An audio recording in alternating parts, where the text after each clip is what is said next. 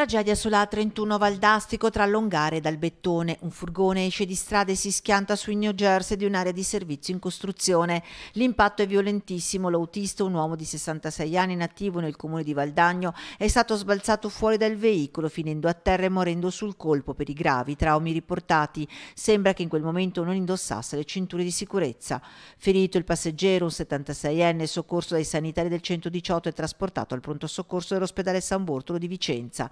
Secondo quanto al momento appurato, il 66enne avrebbe perso il controllo del mezzo forse per un malore o distrazione. A dare l'allarme un altro automobilista che ha visto il furgone sobbalzare. Per i rilievi degli incidenti è intervenuta la polstrada di Badia Polesine.